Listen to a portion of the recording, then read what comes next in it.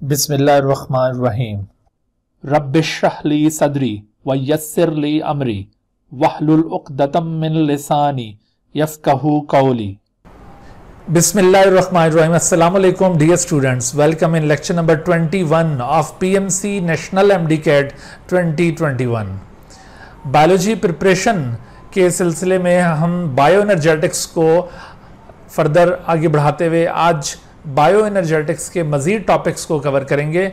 आपको याद है कि हमने लास्ट लेक्चर के अंदर फोटोसिंथेसिस का टॉपिक कंप्लीट कर लिया था और आज हम रेस्पिरेशन स्टार्ट करने जा रहे हैं। आज के लेक्चर के जो हमारे लर्निंग ऑब्जेक्टिव्स होंगे, जिन टॉपिक्स को हमने आज के लेक्चर में कवर करना है, उनमें आप देखिए टाइप्स ऑफ़ रेस्पिरेशन के बारे में हम डिस्कस करेंगे और डिफरेंस बिटवीन एरोबिक और एनरोबिक रेस्पिरेशन कवर किया जाएगा। ये दो मेजर टाइप्स होती हैं रेस्पिरेशन की। और इसके साथ साथ आपको एनरोबिक रेस्पिरेशन का मैकेनिज्म भी बताया जाएगा। एनरोबिक रेस्पिरेशन की जो दो टाइप्स हैं lactic acid fermentation and alcoholic fermentation इन दोनों को डिस्कस करेंगे हम। और इसके अलावा मैकेनिज्म ऑफ़ एरोबिक रेस्पिरेशन के हवाले से हम सिर्फ़ ग्लाइकोलिसिस का पाथवे डिस्कस कर सकेंगे आज के लेक्चर में। और जो रिमेनिंग टॉपिक्स हैं एरोबिक रेस्पिरेशन के, वो इनशाला हम नेक्स्ट लेक्चर के अंदर कवर करेंगे।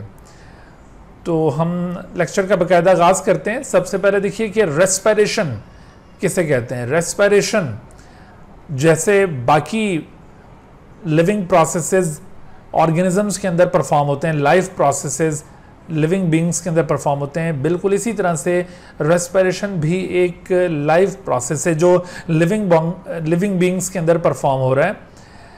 बाकी लाइफ प्रोसेसेस की तरह रेस्पिरेशन भी एक लिविंग बींग के अंदर, एक जानदार के अंदर दो डिफरेंट लेवल्स के ऊपर परफॉर्म होगा।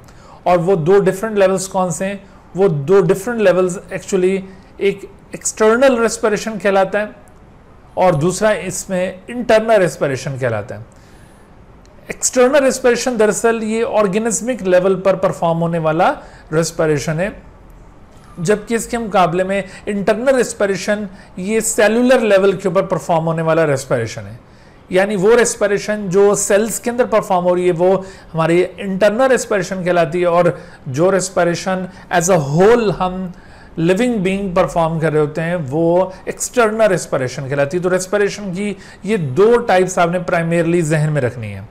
अच्छा ये जो एक्सटर्नल रेस्पिरेशन जिसका हम ज़िक्र कर रहे हैं which occurs at the organismic level तो ये किस किस्म की रेस्पिरेशन है? Actually it is a gases exchange process gases exchange इसके अंदर गैसेस का एक्सचेंज होगा।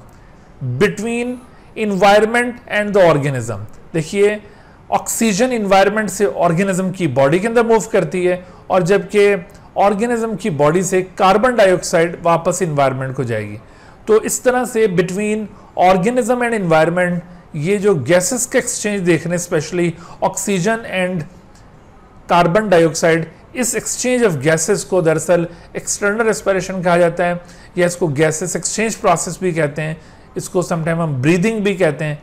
तो ये जो रेस्पिरेशन है एक्सटर्नल रेस्पिरेशन ये बायो एनर्जेटिक प्रोसेस नहीं है, ठीक है? तो हम चूँकि इस चैप्टर के अंदर जैसे बायो एनर्जेटिक्स का टाइटल दिया हुआ इसमें हम ऐसी एक्टिविटीज़ के बारे में डिस्कस करें जिसमें एनर्जी ट्रांसफॉर्म होती है from one form to another तो इस हवाले से हम यहाँ पर एक्सटर्नल रेस्पिरेशन को कवर नहीं करेंगे। ये just for the sake of comparison आपको यहाँ पे पॉइंट आउट किया।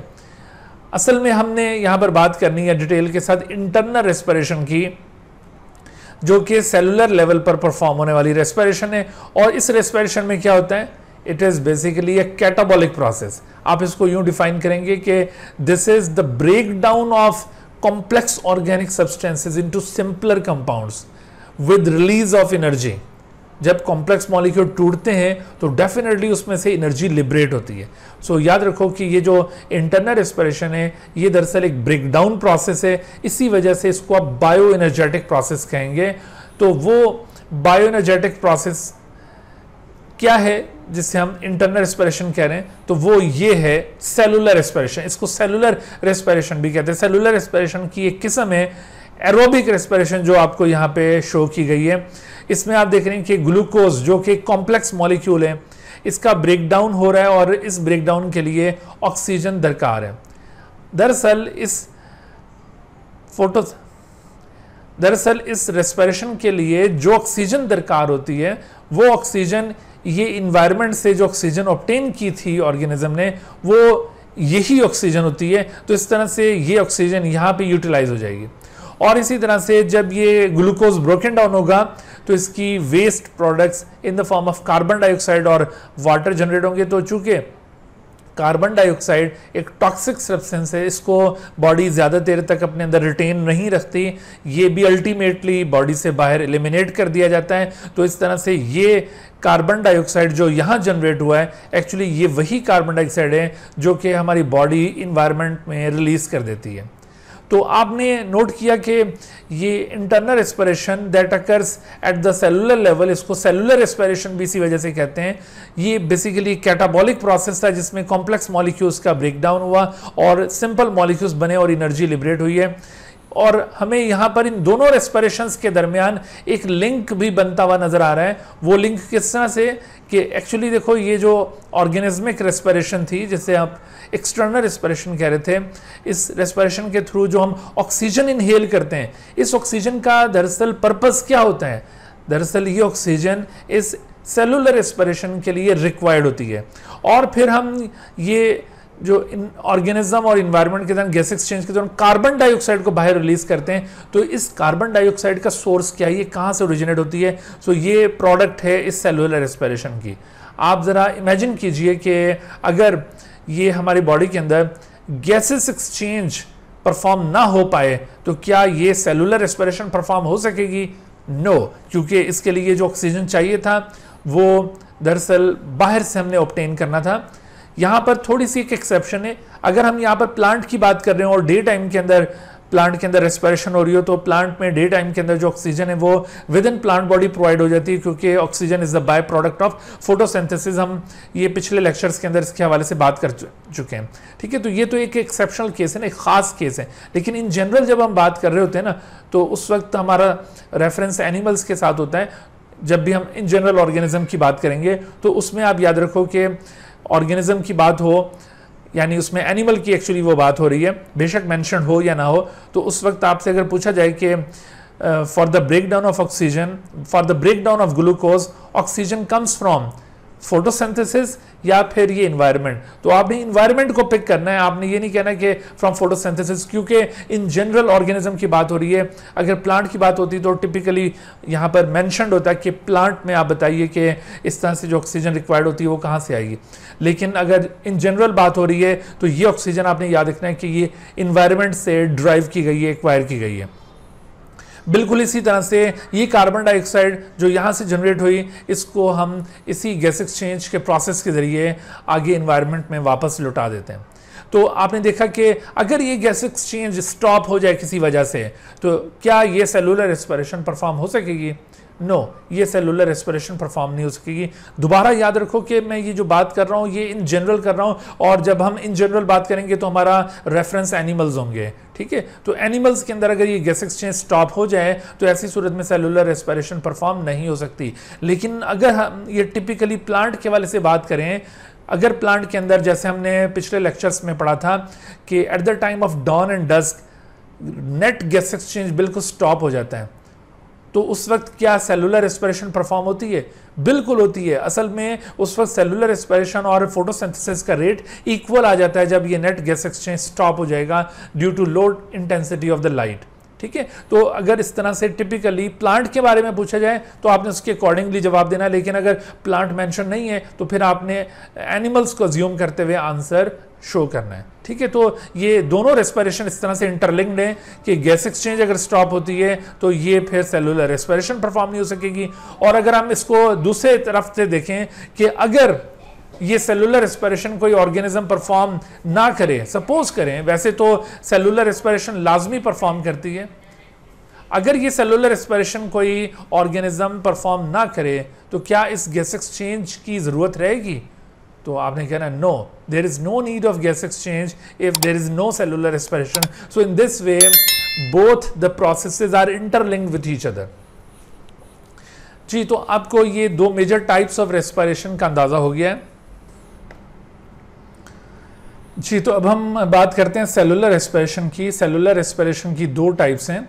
सेलुलर रेस्पिरेशन की एक टाइप है एरोबिक रेस्पिरेशन और दूसरी टाइप को कहा जाता है एनोरोबिक रेस्पिरेशन तो ये जो दो टाइप्स हैं सेलुलर रेस्पिरेशन की एरोबिक और एनोरोबिक रेस्पिरेशन इन दोनों में क्या फ़र्क होता है, ये ज़रा एक्सप्लोर करते हैं हम।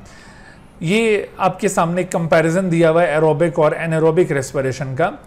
तो सेलुलर रेस्पिरेशन में एरोबिक और एनोरोबिक रेस्पिरेशन दोनों केसेस में जो मॉलिक्यूल ब्रोकन डाउन होता है, जिस मॉलिक्यूल की शामत आती है, यानी जिसको हम रिएक्टेंट कह सकते हैं, वो एक्चुअली ग्लूकोज है।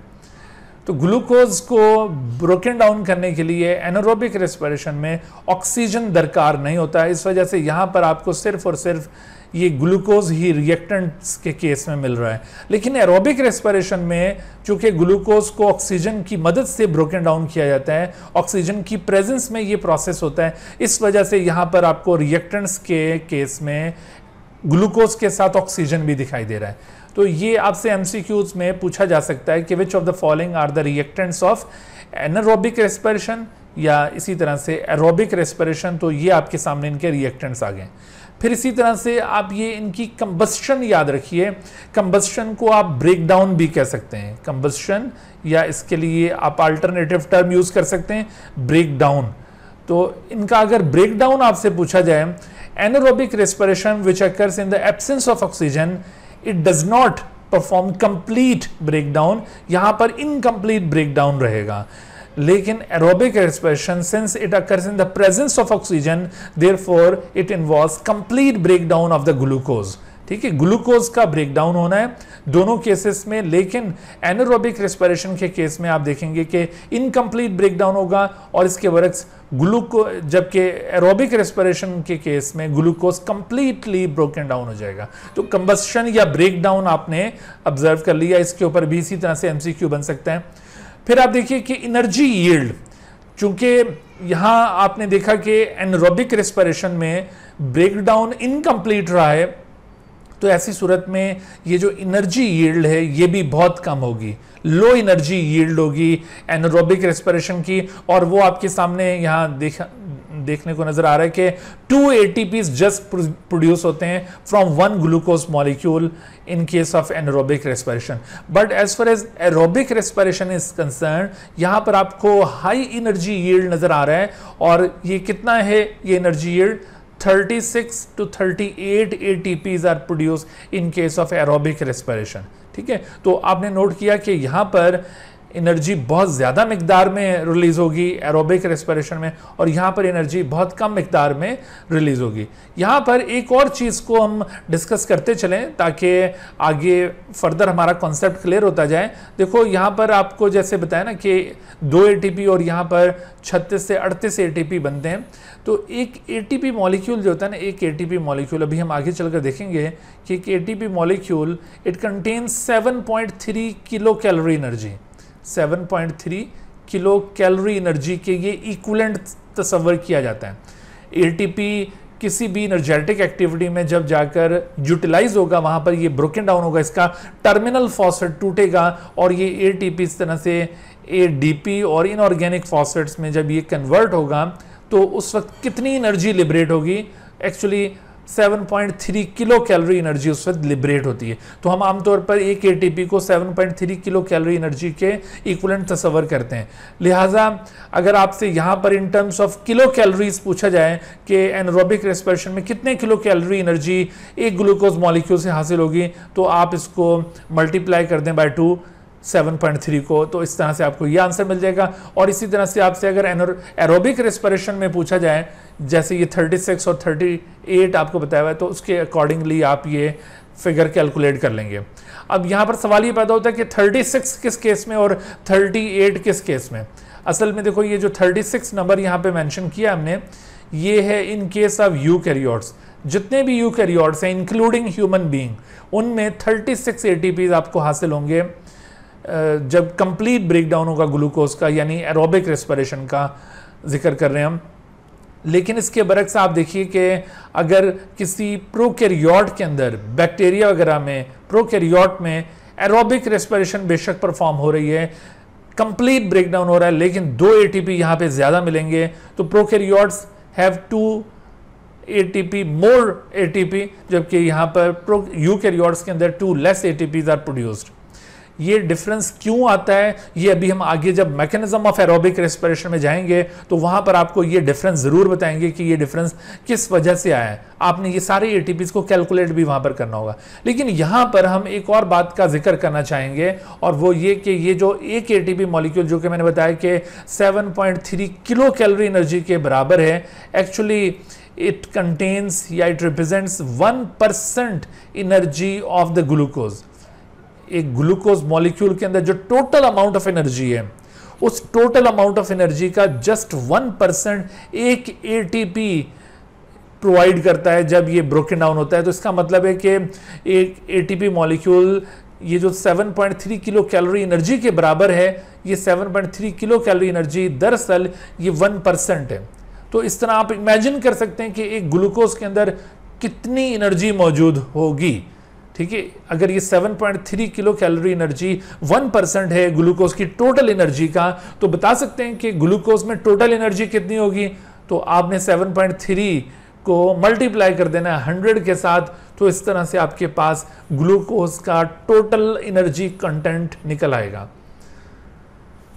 लेकिन यहाँ पर एक और बात के ऊपर हमने गौर करना है, ठीक है, और वो क्या है? कि चूँकि ये 7.3 किलो कैलोरी एनर्जी या एक एटीपी ये एक परसेंट एनर्जी के बराबर है तो आपने यहाँ पे देखा कि in case of anaerobic respiration there is low energy yield there is incomplete break down of the glucose and just two ATPs are produce it means के अगर आपसे पूछा जाए कि during anaerobic respiration how much energy of the glucose has been liberated और option आपको दिए गए हों परसेंटेजेस की फॉर्म में।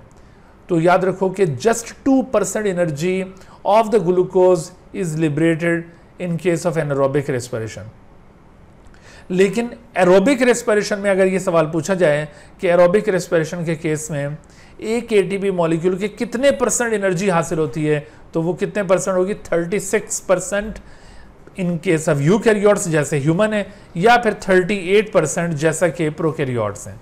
अब यहाँ पर एक बड़ा ही इंटरेस्टिंग कॉन्सेप्ट उभरता है। देखिए, यहाँ पर अगर हम एनोरोबिक रेस्पिरेशन में रीजनिंग करें कि क्यों लो यील्ड है यहाँ पर ग्लूकोज का total amount of energy liberate क्यों नहीं हो रहा तो यहाँ तो हम रीजनिंग कर सकते हैं कि चूँकि एनरोबिक रेस्पिरेशन में इनकम्प्लीट ब्रेक डाउन हो रहा है, लिहाजा उसकी 100 परसेंट एनर्जी लिबरेट नहीं होती just two percent energy liberate होती है। लेकिन भाई, हम यहाँ पर एरोबिक रेस्पिरेशन में क्या रीजनिंग करेंगे? यहाँ तो हम पहले ही कह चुके हैं कि there is complete break down of glucose और ये in the presence of oxygen हो रहा है, इस वजह से कंप्लीट है। तो फिर तो यहाँ पर 100 परसेंट एनर्जी लिबरेट होनी चाहिए थी ना तो फिर ये 36 टू 38 परसेंट एनर्जी क्यों मिल रही है? तो आपने यहाँ पर क्या रीजनिंग देनी है? याद रखो बच्चों कि ग्लूकोज जब ब्रोकन डाउन होगा, उसमें से 36 टू 38 परसेंट एनर्जी तो हमें हासिल हो जाती है in the form of ATP लेकिन जो बाकी एनर्जी है, वो भी रिलीज़ ज़रूर होती है ग्लूकोज से at the time of combustion but वो energy in the form of heat वो सिस्टम से रिलीज़ हो जाती है और वो वापस ऊपर की तरफ़ चली जाती है। सन की तरफ़ जहाँ से वो आई थी। तो इस तरह से आप याद रखो कि ग्लूकोज का जो टोटल एनर्जी कंटेंट है, वो यूँ यहाँ पे जस्टिफाई हो रहा है। अगरचे यहाँ पर ब्रेक डाउन उसका कंप्लीट है, लेकिन due to the release of heat some amount of energy has been loss बल्कि सम नहीं काफ़ी सारा अमाउंट उसका वो हमसे लॉस हो जाता है। हम सिर्फ़ कितनी एनर्जी हासिल कर पाते हैं? 36 परसेंट टू 38 परसेंट आप परसेंट भी कह सकते हो और उसको नंबर ऑफ़ एटीपी भी कह सकते हो because one ATP represents one percent energy of the glucose ठीक है भाई, ये बात क्लियर होगी आपको? अच्छा उसके बाद एनर्जी यील्ड के बाद एक और इसका कॉन्सेप्ट हम कंपेयर करते हैं और वो है इनकी प्रोडक्ट्स देखो एनरोबिक रेस्पिरेशन की दो डिफरेंट पॉसिबिलिटीज हैं। अभी आप दो डिफरेंट टाइप के पाथवेज देखेंगे एनोरोबिक रेस्पिरेशन के। एक एनिमल्स में आमतौर पर परफॉर्म होता है और कुछ बैक्टीरिया के अंदर एनिमल्स के साथ साथ यहाँ पर हम बैक्टीरिया की एग्ज़ाम्पल भी ले सकते हैं। तो एक इनमें से एनोरोबिक रेस्पिरेशन बैक्टीरिया में या फिर एनिमल्स में होता है, ऐसे कहते हैं lactic acid fermentation lactic acid fermentation anaerobic respiration is also known as fermentation ये टर्म भी आपने याद रखनी है। इसको फर्मेंटेशन भी कहा जाता है। तो ये lactic acid fermentation which occurs in animals and bacteria it yields lactic acid as end product of the respiration on the other hand yeast यानी ये फंजाई की बात हो रही है, जैसे कि यीस्ट तो in case of yeast the end products are not lactic acid the end products are ethanol and carbon dioxide ठीक है? एथेनॉल और कार्बन डाइऑक्साइड इसकी एंड प्रोडक्ट्स होंगी। तो ये एंड प्रोडक्ट्स आपने याद रखनी है कि किस केस में कौन सी एंड प्रोडक्ट्स बन रही हैं। तो जिस रेस्पिरेशन के अंदर, जिस एनरोबिक रेस्पिरेशन में अल्कोहल यानी एथेनॉल एक अल्कोहल की किस्म है ना, ये और कार्बन डाइऑक्साइड प्रोड्यूस हो तो उस एनरोबिक रेस्पिरेशन को कहा जाएगा अल्कोहलिक फर्मेंटेशन और इसी तरह से जिसके एंड पर लैक्टिक एसिड बन रहा था, उसको हम कहेंगे लैक्टिक एसिड फर्मेंटेशन तो एनरोबिक रेस्पिरेशन के ये दो डिफरेंट पाथवेज हैं। Lactic acid fermentation and alcoholic fermentation इसको अभी हम आगे चलकर डिटेल में देखते हैं। लेकिन एरोबिक रेस्पिरेशन में, चाहे किसी भी ऑर्गेनिज्म के अंदर एरोबिक रेस्पिरेशन हो, चाहे प्रोकैरियोट्स में हो या यूकैरियोट्स में हो in case of aerobic respiration always carbon dioxide and water are produce तो आपने ये इनकी जो एंड प्रोडक्ट्स हैं, उनको भी कंपेयर करके यहाँ पे काफ़ी सारे पॉइंट्स को इकट्ठा किया है। मिसाल के तौर पर अगर आपसे पूछा जाए कि which of the following product is common between anaerobic and anaerobic respiration तो वो देखो कार्बन डाइऑक्साइड है। और अगर आपसे पूछा जाए कि ये सवाल यूँ पूछा जाए कि which of the following compound must be produced at the end of anaerobic और एनरोबिक एरोबिक रेस्परेशन तो देखो, अगर कोई कंपाउंड जिसके मुतालिक ये कहा जाए मस्ट बी प्रोड्यूस तो आप कौन से कंपाउंड को पिक करेंगे दैट मस्ट बी प्रोड्यूस तो याद रखो कि कार्बन डाइऑक्साइड को कई बच्चे यहाँ पर पिक करने की कोशिश करते हैं। गलत हो जाएगा कार्बन डाइऑक्साइड ऐसा नहीं है कि दैट मस्ट बी प्रोड्यूस क्योंकि लैक्टिक एसिड फर्मेंटेशन का भी तो केस है ना। तो लैक्टिक एसिड फर्मेंटेशन में तो कार्बन डाइऑक्साइड प्रोड्यूस नहीं हो रहा। इस वजह से ना तो हम कार्बन डाइऑक्साइड को, ना हम ऑक्सीजन को, ना ग्लूकोज को, हम किसी भी मॉलिक्यूल के मुतालिक ये नहीं कह सकते कि it will be it must be produce at the end of the respiration ठीक होगी बात? अच्छा उसके बाद फिर देखो लोकेशन भी आपने याद रखनी है। Anaerobic respiration completely occurs in the cytoplasm cytosol region के अंदर ये परफॉर्म होगा, ये इवेंट लिहाजा अगर आपसे साइटोप्लाज्मिक मेटाबॉलिक पाथवेज का पूछा जाए, उसमें कौन कौन से मेटाबॉलिक पाथवेज होते हैं तो आपने ये एनोरोबिक रेस्पिरेशन की जो दोनों काइंड्स हैं लैक्टिक एसिड फर्मेंटेशन या अल्कोहलिक फर्मेंटेशन और उससे पहले आप ग्लाइकोलिसिस देखेंगे, ये सारा जो इवेंट है, ये दरअसल साइटोप्लाज्म में परफॉर्म हो रहा है। अच्छा दूसरी तरफ़ आप एरोबिक रेस्परेशन में ऑब्ज़र्व करें तो एरोबिक रेस्परेशन में आपको कुछ स्टेप्स साइटोप्लाज्म में होते हुए नज़र आएँगे और कहीं पर आपको माइटोकॉन्ड्रिया इन्वॉल्व होते नज़र आएँगे। तो इस तरह से ये दोनों की इन्वॉल्वमेंट होती है। आप यूँ नहीं कह सकते कि कंप्लीटली माइटोकॉन्ड्रिया आर इन्वॉल्व या कंप्लीटली साइटोप्लाज्म इज़ इन्वॉल्व ठीक है लोकेशन का भी फ़र्क आपको समझ में आ गया। And the last difference between aerobic and anaerobic is the stages different जो स्टेप्स होते हैं ना एनरोबिक और एरोबिक रेस्पिरेशन के, वो कौन कौन से हैं? जैसे आप देखिए anaerobic respiration consist of two phases एक है ग्लाइकोलिसिस और उसके बाद फिर उसकी फर्मेंटेशन होती है। तो ये दो स्टेप्स इसमें इन्वॉल्व होंगे। अच्छा उसके बाद फिर एरोबिक रेस्पिरेशन के अंदर चार स्टेप्स इन्वॉल्व होते हैं। Glycolysis linked reaction Krebs cycle and electron transport chain या इसको रेस्पिरेटरी चेन भी कहा जाता है। तो अगर आपसे पूछा जाए कि कौन सा ऐसा इवेंट है, कौन सा ऐसा प्रोसेस है which is common between aerobic and anaerobic respiration तो वो है ग्लाइकोलिसिस जो कि दोनों तरफ़ होगा, ठीक है? तो ग्लाइकोलिसिस को आपने याद रखना है और इसी वजह से ग्लाइकोलिसिस या माइटोकॉन्ड्रिया से बाहर परफॉर्म होता है। अच्छा हम ये एरोबिक और एनोरोबिक रेस्परेशन के दरमियान डिफरेंस कर रहे थे और इसको हम मज़ीद आगे बढ़ाते हैं। और देखिए, यहाँ पर हम मज़ीद ये एक्सप्लेन करेंगे कि एरोबिक और एनोरोबिक रेस्पिरेशन उनमें कौन कौन से स्टेप्स इन्वॉल्व होते हैं, जैसे मैंने अभी आपको पॉइंट आउट किया anaerobic respiration that occurs in the absence of oxygen इसमें ग्लाइकोलिसिस होगा जो साइटोप्लाज्म में हो रहा है, और उसके बाद फिर फर्मेंटेशन एक्टिविटी होनी है अल्कोहलिक फर्मेंटेशन या lactic acid fermentation and it also occurs in the cytoplasm और अल्टीमेटली आपको दो ग्लूकोज दो ATP molecules per glucose molecule yield हो जाएँगे।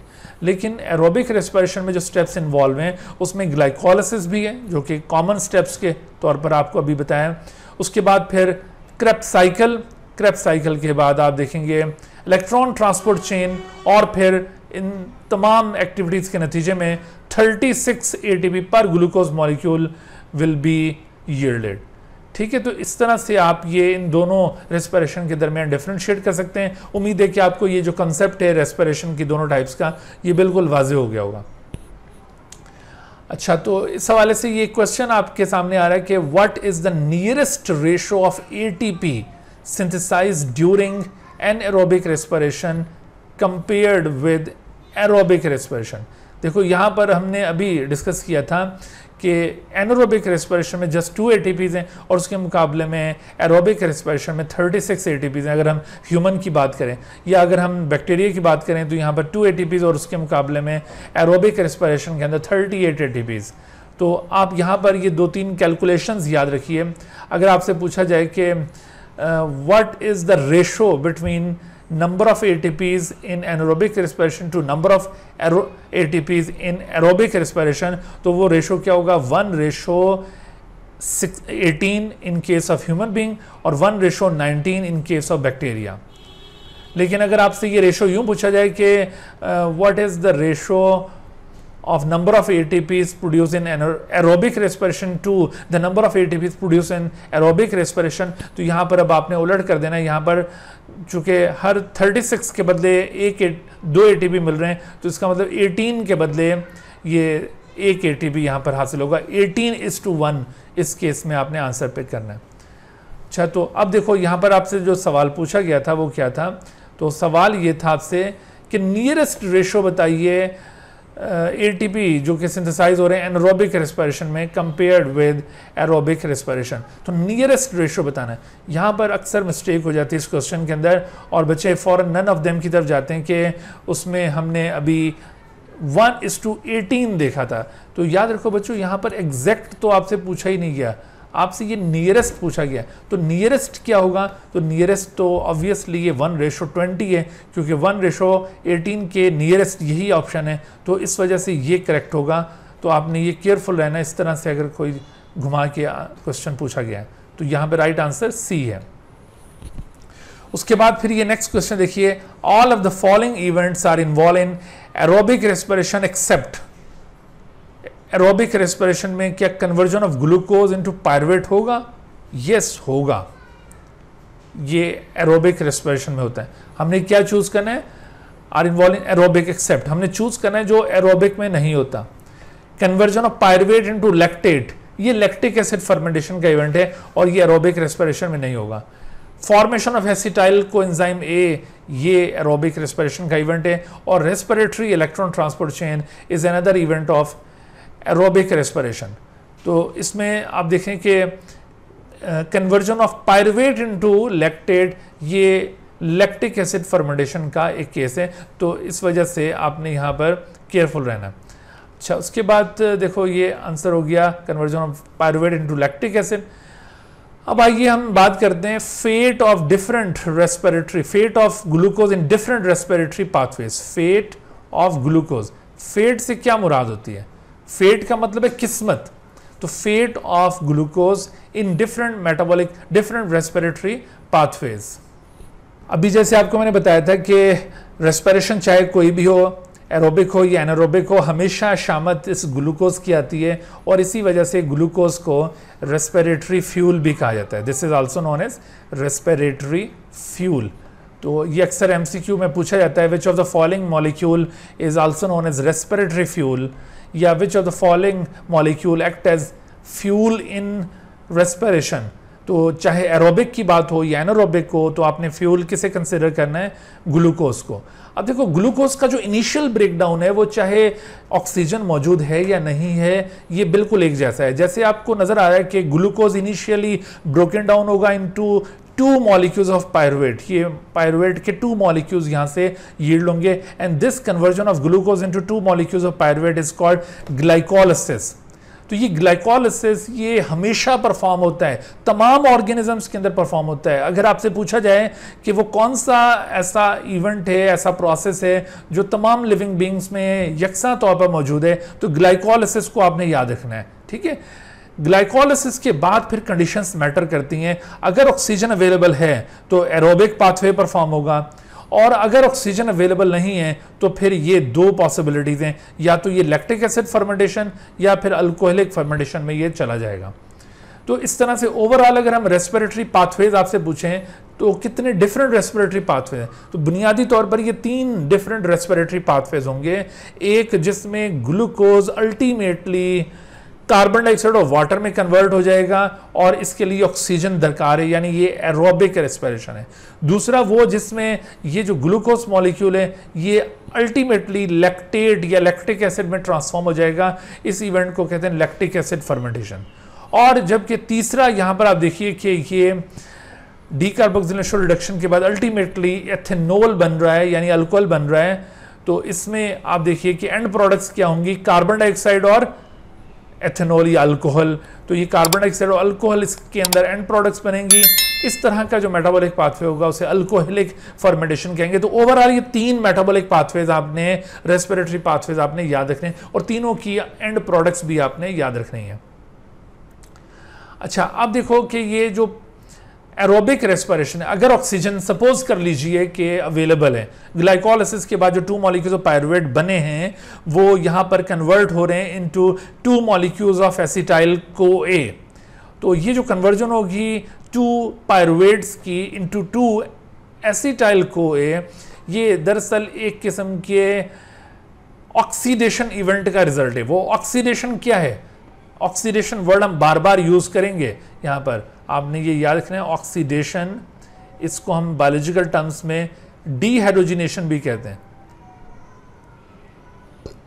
डीहाइड्रोजिनेशन ठीक है हाइड्रोजन का रिमूवल डीहाइड्रोजिनेशन या इसको ऑक्सीडेशन भी कहेंगे।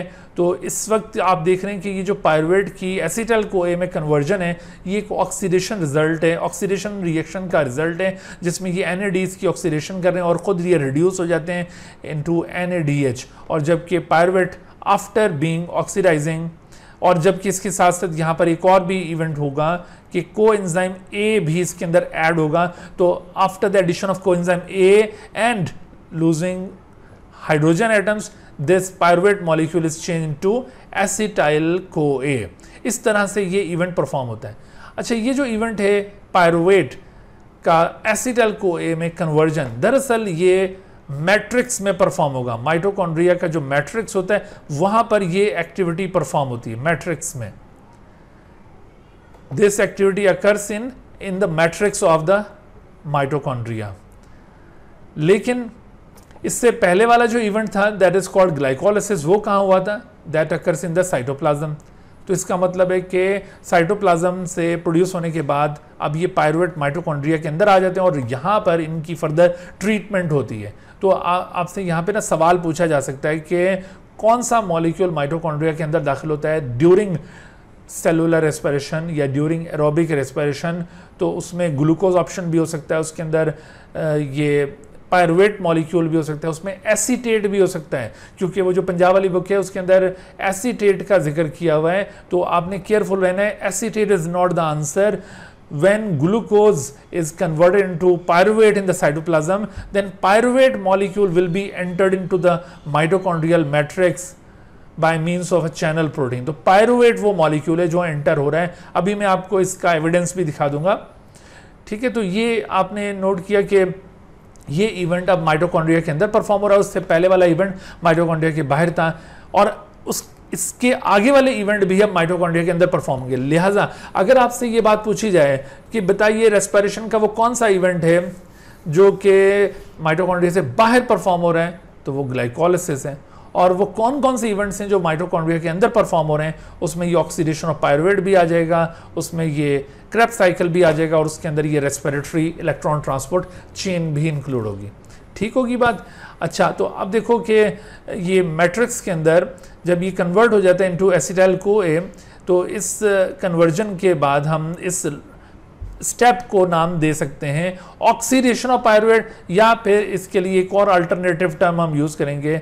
This is also known as link reaction इसको लिंक रिएक्शन भी कहा जाता है। Why it is called link reaction because because it links the pathway of aerobic respiration that occurs outside the mitochondrion and the pathway of aerobic respiration that occurs inside the mitochondrion चूँकि ये दोनों को link करता है, इस वजह से इसको कॉमनली लिंक रिएक्शन भी कहा जाता है।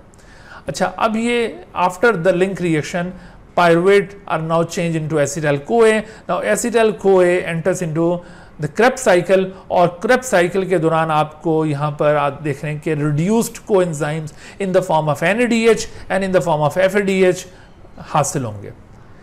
तो ये जितने भी रिड्यूस्ड को यहाँ क्रप साइकिल में हासिल हुए हैं या फिर इससे पहले यहाँ पर भी आपको ये दिखाए जा रहे हैं all these reduced co have energy इनके पास एनर्जी मौजूद है।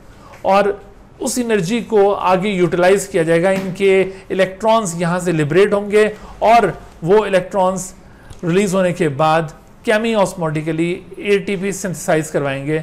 तो यूँ जब ये इन एन डी एच मॉलिक्यूल्स की ऑक्सीडेशन हो रही होती है थ्रू द रेस्पिरेटरी चेन तो during those oxidations energy in the form of electrons will be release और वो इलेक्ट्रॉन्स की एनर्जी प्रोटॉन्स की पंपिंग में इस्तेमाल होगी और अल्टीमेटली फिर एटीपी फॉर्म होंगे। ये अभी आगे चलकर आपको ये चीज़ पॉइंट आउट कर देंगे। बहरहाल, ये जो रिड्यूस को प्रोड्यूस हो रहे हैं they have certain amount of energy तो इस वजह से ये इनर्जेटिक एक्टिविटी यहाँ पे परफॉर्म करेंगे और इनका फर्दर ब्रेकडाउन होगा और वो एनर्जी हासिल हो सकेगी। अगर आपसे पूछा जाए कि सबसे ज़्यादा एनर्जी कौन सा फ़ेज़ प्रोवाइड करता है? ग्लाइकोलिसिस या ऑक्सीडेशन पायरुवेट या फिर ये क्रैप साइकिल तो answer should be the Krebs cycle बाकी स्टेप्स के मुकाबले क्रैप साइकिल सबसे ज़्यादा एनर्जी प्रोवाइड करने वाला मॉलिक्यूल है। ठीक है भाई तो ये आपने ग्लूकोज की फेड देखी in the absence of oxygen अच्छा उसके बाद आप देखिए कि अगर ऑक्सीजन एबसेंट है ग्लूकोज को ऑक्सीजन की एब्सेंस में अगर ब्रोकन डाउन करना हो तो पहले ग्लाइकोलिसिस एज यूजुअल यहाँ पर फॉर्म होगा। लेकिन ग्लाइकोलिसिस के बाद अब ये जो टू पायरवेट मॉलिक्यूल्स हैं, उनकी एक पॉसिबिलिटी है कि ये रिड्यूस हो जाएँगे। इनकी देखिए रिडक्शन हो रही है। N A D H two molecules ये यहाँ पर इनको रिड्यूस कर देंगे हाइड्रोजन डोनेट कर देंगे। And after reduction they are converted into lactate या लैक्टिक एसिड इस तरह से ये लैक्टिक एसिड फर्मेंटेशन जो कि ह्यूमन के अंदर बाकी मैमल्स में और इवन कुछ बैक्टीरिया के अंदर भी ये एक्टिविटी परफॉर्म होती है। और इसके एंड पर जो लैक्टिक एसिड बनता है, ये एक एसिडिक कंपाउंड है जो हमारे मसल्स के अंदर अक्यूमुलेट होकर मसल पीएच को ड्रॉप कर देगा और ऐसी सूरत में हमारे मसल कॉन्ट्रैक्ट करने के काबिल नहीं रहते। तो ये जो फिजोलॉजिकल इनएबिलिटी होती है हमारे मसल्स की to contract this physiological inability to contract the muscle is known as muscle fatigue तो मसल फटीक का ये सबब बनता है। और फिर जब हम आराम करते हैं तो ये लैक्टिक एसिड ये वहाँ से निकल कर ब्लड के ज़रिए वापस लिवर में चला जाएगा और वहाँ पर जाकर इस लैक्टिक एसिड को या तो दोबारा से ग्लूकोज में कन्वर्ट किया जाएगा या ब्रोकन डाउन कर दिया जाएगा। दोनों पॉसिबिलिटीज़ हैं। ठीक होगी बात? तो आपने देखा कि ये पायरुवेट लैक्टेट के अंदर ये इस तरह से कन्वर्ट हुए बाय रिडक्शन एक्टिविटी अच्छा अगर आपसे यहाँ पर सवाल पूछा जाए, जैसे अभी मैंने आपसे ये एरोबिक रेस्पिरेशन के मुतालिक शेयर किया था कि एरोबिक रेस्पिरेशन में टोटल कितने स्टेप्स इंक्लूड होते हैं? Glycolysis oxidation of pyruvate Krebs cycle and this respiratory chain क्योंकि ये जितने भी रिड्यूस को थे, ये रेस्पिरेटरी चेन में ऑक्सीडाइज होते हैं और इनसे ए हासिल होते हैं। तो total four steps are involve in aerobic respiration लेकिन अगर आपसे ये एनोरोबिक रेस्पिरेशन और वो भी लैक्टिक एसिड फर्मेंटेशन के मुतालिक पूछा जाए कि टोटल कितने स्टेप्स इस पाथवे के अंदर इंक्लूड हो रहे हैं। तो वो कितने स्टेप्स हैं? टू स्टेप्स एक स्टेप इसमें भी आपने ग्लाइकोलिसिस याद रखना है और दूसरा स्टेप आपने ये रिडक्शन स्टेप याद रखना है। तो lactic acid fermentation involve two steps लेकिन alcoholic fermentation which occurs in the yeast and in other fungi and in plants plants भी ये अल्कोहलिक फर्मेंटेशन परफॉर्म करते हैं। तो इनमें क्या होगा? तो इनमें ऐसा होता है कि एज यूजुअल ग्लाइकोलिसिस तो हो जाएगा, लेकिन ग्लाइकोलिसिस के बाद अगर ऑक्सीजन अवेलेबल नहीं है तो पहले इन पायरुवेट्स की डी होगी।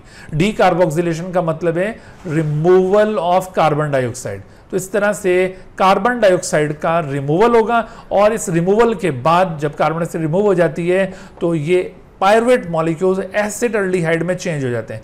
अब ये जो एसिड अल्डिहाइड मॉलिक्यूल्स हैं, ये अब आगे जाकर आप देखेंगे कि इनकी रिडक्शन होगी और फिर ये अल्कोहल या एथेनॉल में कन्वर्ट होंगे।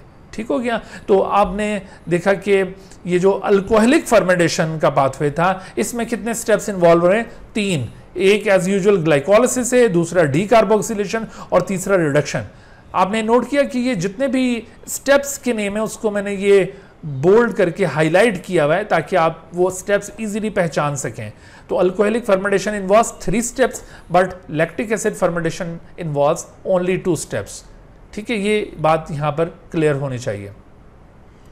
अच्छा अब आपसे देखिए, यहाँ पर सवाल पूछा जा सकता है कि which of the following is the common event between lactic acid fermentation and alcoholic fermentation उसमें एक ऑप्शन मैं आपको देता हूँ, जैसे मिसाल के तौर पर ग्लाइकोलिसिस और दूसरा ऑप्शन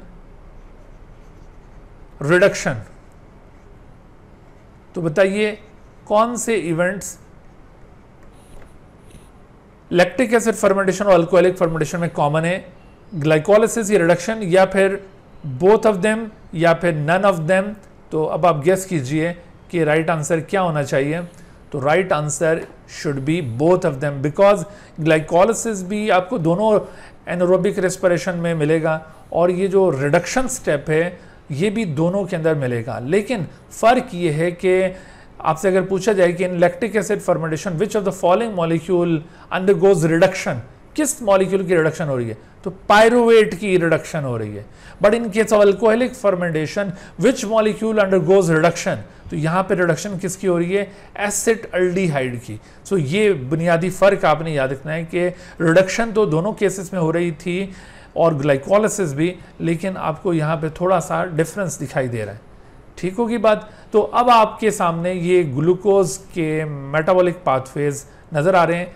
ये आपने ग्लूकोज की फेट देखी। एक फेट थी कि एंड पर कार्बन डाइऑक्साइड ऑफ़ वाटर और बल्क में एनर्जी प्रोड्यूस हो दूसरी पॉसिबिलिटी थी कि ये जैसे लैक्टिक एसिड प्रोड्यूस हो और तीसरी पॉसिबिलिटी ये है कि एथेनॉल कार्बन डाइऑक्साइड प्रोड्यूस हो तो तीन डिफरेंट काइंड के ऑर्गेनिजम्स में तीन डिफरेंट पॉसिबिलिटीज़ हैं। ये थी fate of glucose in different respiratory pathways अच्छा तो उसके बाद हम आगे बढ़ते हैं। देखिए, एक और सवाल हमारे सामने आ रहा है कि which of the following metabolic pathway found in all organism अभी हमने इसको जस्टिफाई किया, कौन सा पाथवे है जो तमाम ऑर्गेनिजम्स में कॉमनली प्रेजेंट है?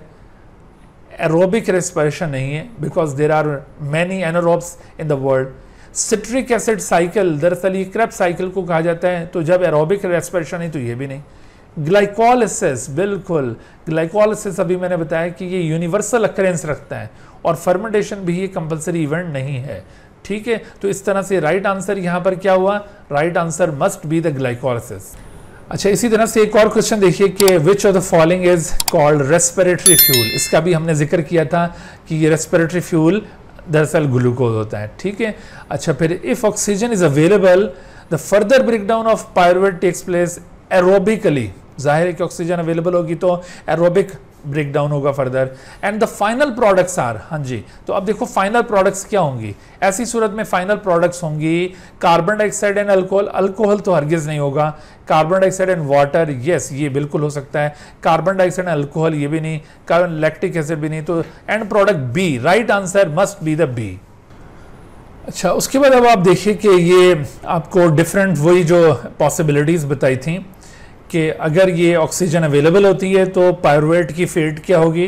पायरुवेट इस तरह से ये मुख्तलिफ़ ट्रीटमेंट के बाद अल्टीमेटली ये एसिटाइल को ए में चेंज होगा और फिर आगे ये क्रैप साइकिल की तरफ़ चला जाएगा। ठीक है तो ये हम अभी आगे डिटेल के साथ इसको डिस्कस करेंगे। ये दरअसल लिंक्ड रिएक्शन है।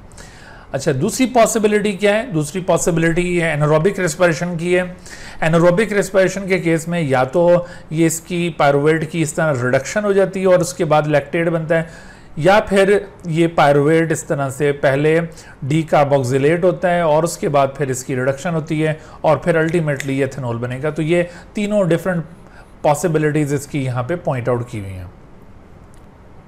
अच्छा अब आप देखिए कि ये जो टाइप्स ऑफ़ एनरोबिक रेस्पिरेशन यानी फर्मेंटेशन ये जिसका हमने ज़िक्र किया, दो टाइप्स हैं, एक लैक्टिक एसिड फर्मेंटेशन और एक अल्कोहलिक फर्मेंटेशन इनका मैकेनिज्म क्या है?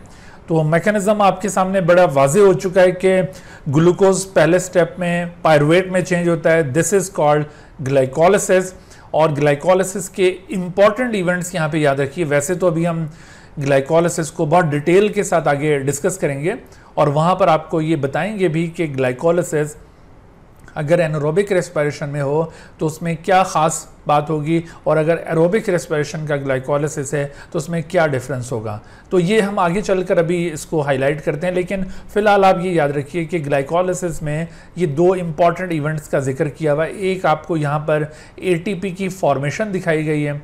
ए सिंथेसाइज हो रहा है by the phosphorylation of ADP तो ये एटीपी की जो फॉर्मे फॉर, फॉर्मेशन आप देख रहे हैं ना ये दरअसल सबस्ट्रेट लेवल फॉस्फोरिलेशन का रिज़ल्ट है। एक टर्म हम यहाँ पे यूज़ करते हैं substrate level phosphorylation substrate level phosphorylation असल में ये सबस्ट्रेट लेवल फॉस्फोरिलेशन इवेंट क्या है? ये substrate level phosphorylation ATP generate करने का एक मैकेनिज्म है। वो कैसे? कि अगर ड्यूरिंग द रिएक्शन किसी सबस्ट्रेट मॉलिक्यूल के पास अगर फॉस्फेट ग्रुप मौजूद है और वहाँ से वो फॉस्फेट ग्रुप डायरेक्टली एडीपी को प्रोवाइड कर दिया जाए, जैसा कि अभी आप ये ग्लाइकोलिसिस के अंदर ऑब्ज़र्व करेंगे कि एडीपी डायरेक्टली किसी ऑर्गेनिक सबस्ट्रेट से फॉस्फेट ग्रुप लेकर एटीपी बन जाता है। तो in this way ATP formation is known as substrate level phosphorylation और दूसरा एक और मैकेनिज्म भी एटीपी जनरेशन का रेस्पिरेशन में पाया जाता है, उसे कहते हैं कैमियोस्मोसिस तो याद रखो कि एनरोबिक रेस्पिरेशन में कैमी ऑस्मोसिस टाइप का मैकेनिज्म नहीं है। Chemiosmotic synthesis of ATP anaerobic respiration में हरगिज नहीं है, किसी ऑप्शन में। अगर आपसे पूछा जाए कि which of the following event occurs in the anaerobic respiration या does not occur in the anaerobic respiration तो उसमें ये बात आपके माइंड में हो कि chemiosmotic synthesis of ATP इसका ताल्लुक एनरोबिक रेस्पिरेशन के साथ हरगिज नहीं है। हाँ एनोरोबिक रेस्पिरेशन में एटीपी सिंथेसाइज ज़रूर होते हैं, लेकिन उसका मैकेनिज्म क्या होगा? उसका मैकेनिज्म होगा सबस्ट्रेट लेवल फॉस्फोरिलेशन तो इस तरह से ये दो एटीपी सबस्ट्रेट लेवल फॉस्फोरिलेशन का रिज़ल्ट है जो ग्लाइकोलिसिस में हासिल हो रहे हैं। और दूसरी खास बात ग्लाइकोलिसिस में ये है कि यहाँ पर ये two molecules of NAD as oxidizing agent यहाँ पर काम करेंगे। और ये दोनों मॉलिक्यूल्स एनएडी के ये यहाँ से हाइड्रोजन गेन करके ये कन्वर्ट हो जाएँगे into two molecules of N ठीक है? या इसको एन टू भी कहा जाता है। एन प्लस टू एच या फिर इसको एन टू कहा जाता है। तो ये N D H two molecule ये ग्लाइकोलिसिस में यहाँ पे हासिल हुआ। और उसके बाद जब ये पायरुवेट बन जाते हैं पायरुवेट्स इसी एन की मदद से रिड्यूस होगा। यही एन जब पायरुवेट को रिड्यूस करेगा तो इसकी जो रिड्यूस्ड प्रोडक्ट है, वो लैक्टेट की फॉर्म में या लैक्टिक एसिड की फॉर्म में हासिल होगी। बच्चों, यहाँ पर आपने ना ये स्ट्रक्चर्स भी याद रखने हैं। देखो पायरुवेट कितने कार्बन पर मुश्तमिल है three carbon one two and three इसका देखिए, जो टर्मिनल कार्बन है, वहाँ पर ये कार्बोक्सैलिक एसिड ग्रुप बना हुआ है। और दरमियान में एक, ये इस तरह से आपको एक कार्बोनाइल ग्रुप नज़र आ रहा है और दूसरा मिथाइल ग्रुप है। लेकिन अगर आप ये लैक्टेट में देखें तो लैक्टेट में आपको टर्मिनल पोजीशन पर कार्बोक्साइलिक एसिड ग्रुप नज़र आ रहे हैं। दूसरी टर्मिनल पोजीशन पर मिथाइल ग्रुप है और दरमियान में आपको ओ OH और एच नज़र आ रहा है। तो इस तरह से आपने इन फार्मूलों को भी पहचानना है, इनको पहचानने के एम बनाए जा सकते हैं।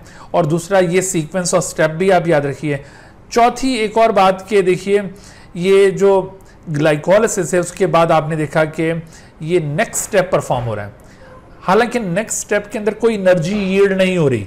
ये एन मॉलिक्यूल्स जब ये यहाँ पर इसको रिड्यूस करने में इस्तेमाल होंगे तो कोई एनर्जी ये नहीं दे सकेंगे। हालाँकि इनके अंदर एनर्जी मौजूद थी, जो कि यूटिलाइज हो गई है, वो लिबरेट नहीं हुई है।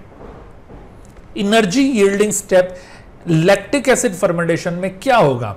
तो आपसे अगर पूछा जाए energy yielding step of lactic acid fermentation वो होगा ग्लाइकोलिसिस उसमें सिर्फ़ ये एटीपी हासिल हो रहे हैं। तो यहाँ सवाल ये पैदा होता है कि अगर एनर्जी सिर्फ़ इसी में मिलनी थी तो what is the purpose of this next step तो आप ये डायग्राम के अंदर ही देख रहे हैं कि इस नेक्स्ट स्टेप का पर्पज़ क्या है? इसका पर्पज है टू रीजनरेट एनएडी ताकि ये दोबारा ग्लाइकोलिसिस में जाकर ये NADH बन सके। तो ये इस तरह से इस रीजनरेशन के लिए दरअसल ये सेकंड स्टेप परफॉर्म किया गया है। हालाँकि सेकंड स्टेप में एनर्जी कोई हासिल नहीं हो रही। एनर्जी सिर्फ़ पहले स्टेप में ही हासिल होनी है। तो second step is perform in order to regenerate NAD तो ये रीजन किसी एमसीक्यू में आपसे पूछा जा सकता है। दूसरी तरफ़ अब अल्कोहलिक फर्मेंटेशन आप देखिए, यहाँ पर एज यूजुअल ग्लाइकॉल असिस्ट होगा, उसमें उसी तरह से ATP by substrate level phosphorylation भी बनेंगे। वहाँ पर ये एन के ज़रिए ऑक्सीडेशन भी होनी है और एन भी बनना है। लेकिन अब ये पायरवेट मॉलिक्यूल जो ग्लाइकोलिसिस में हासिल हुए हैं, ये अपना कार्बन डाइऑक्साइड लूज कर देंगे। इस इवेंट को कहा जाता है डी कार्बोक्सिलेशन डी कार्बोक्सिलेशन और ये डी कार्बोक्सिलेशन का नतीजा क्या निकलेगा? As a result of this decarboxylation acetaldehyde will be produce ठीक है? डी कार्बोक्सिलेशन के नतीजे में एसिड अल्डीहाइड यहाँ पर बनेगा। और अब ये एसिड अल्डीहाइड मॉलिक्यूल ये इथेनॉल में कन्वर्ट होता है आफ्टर रिडक्शन यहाँ पर देखो रिडक्शन किसकी हो रही है? मैंने पहले भी आपसे अभी ये शेयर किया था कि in case of alcoholic reduction occurs of acetaldehyde लेकिन लैक्टिक एसिड फर्मेंटेशन में जो रिडक्शन हो रही है, वो पायरोवेट की हो रही है। यहाँ पर भी उसी तरह से जो glycolytic N D H molecules थे, वही यहाँ पर रिडक्शन में यूटिलाइज हो जाएँगे। और यहाँ पर भी इस सेकंड स्टेप का पर्पज़ क्या है? एनर्जी यील्ड करना नहीं है। एनर्जी तो जो मिलनी थी, वो उधर मिल चुकी है। तो यहाँ पर भी दरअसल इस सेकेंड स्टेप का मकसद इस एनर्जी को रीजनरेट करवाना है। तो यूँ ये दोनों जो मैकेनिज्म्स थे एनरोबिक रेस्पिरेशन के, वो यहाँ पर कंप्लीट होते हैं। अच्छा एनोरोबिक रेस्पिरेशन की ये इक्वेशंस भी आपने याद रखनी है। ये पहली इक्वेशन आप देख रहे हैं C six H twelve O six से जो स्टार्ट हो रही है, ये ग्लाइकोलिसिस है, क्योंकि आप देखिए ये ग्लूकोज है और उसके बाद फिर ये जो आपका मॉलिक्यूल नज़र आ रहा है दिस इज़ पायरुवेट मॉलिक्यूल तो इसमें टू एन प्लस और ये two N plus two H show किया हुआ है। सो दिस इज़ ग्लाइकोलिसिस और उसके बाद फिर ये ग्लाइकोलिसिस के बाद सेकेंड स्टेप अभी जो हमने पढ़ा था दैट इज़ रिडक्शन वो यहाँ पे शो हो रहा है। दिस इज़ रिडक्शन स्टेप अच्छा उसके बाद फिर इसी तरह से आप देखिए, ये ग्लाइकोलिसिस और रिडक्शन पर मुश्तमिल जो एनरोबिक रेस्पिरेशन होती है, उसे क्या कहते हैं? This is known as lactic acid fermentation ये लैक्टिक एसिड फर्मेंटेशन है। और दूसरी तरफ़ अब आप देखिए कि ग्लाइकोलिसिस ग्लाइकोलिसिस के बाद फिर आप यहाँ पर नोट कर रहे हैं कि दो इवेंट्स को मर्ज कर दिया गया है। यहाँ आपको पायरुवेट की ना सिर्फ़ ऑक्सीडेशन शो की गई है, बल्कि उसकी डीकार्बोक्सिलेशन भी शो की गई है। तो यहाँ पर पहला स्टेप तो ग्लाइकोलिसिस ही कहलाएगा। लेकिन उसके बाद जो दूसरा स्टेप है, वो दो तरह का स्टेप है, यानी इसमें डुअल एक्टिविटी शो की गई है। एक ऑक्सीडेशन और दूसरी डीकार्बोक्सिलेशन यानी इसको हम कहेंगे ऑक्सीडेटिव डीकार्बोक्सिलेशन तो इस ऑक्सीडेटिव डीकार्बोक्सिलेशन एंड ग्लाइकोलिसिस पर मुश्तमिल जो अल्कोहलिक जो फर्मेंटेशन की टाइप है एनोरोबिक रेस्पिरेशन की टाइप उसको क्या कहा जाएगा? अल्कोहलिक अल्कोहलिक फर्मेंटेशन तो ये अल्कोहलिक फर्मेंटेशन है। ठीक होगी बात? तो इस तरह से ये दोनों टाइप की एनोरोबिक रेस्पिरेशन आपने याद रखनी है। इसके अलावा इन इक्वेशन से आपसे इस तरह के एम भी पूछे जा सकते हैं कि इनमें कोई भी एक कंपोनेंट इनका यूँ ब्लैंक में दिया जाए और फिर नीचे वो ऑप्शंस बना कर दिए जाएँ। तो आपने ये बिल्कुल इन इक्वेशंस को अच्छी तरह से याद रखना है कि अगर ये इक्वेशन दी हुई और ये पार्ट यहाँ पर ब्लैंक बना के दिया हुआ है या ये पार्ट ब्लैंक बना कर दिया हुआ है तो आप उसको ईजिली गेस कर सकें। अच्छा उसके बाद अब हम बात करते हैं ग्लाइकोलिसिस की। ग्लाइकोलिसिस जो कि एरोबिक और एनोरोबिक रेस्पिरेशन दोनों का एक कॉमन इवेंट है। और ना सिर्फ़ एरोबिक और एनोरोबिक बल्कि एनोरोबिक रेस्पिरेशन में भी जो दोनों टाइप्स हैं, उसके अंदर भी आपको ग्लाइकोलिसिस एक कॉमन इवेंट के तौर पर नज़र आता है।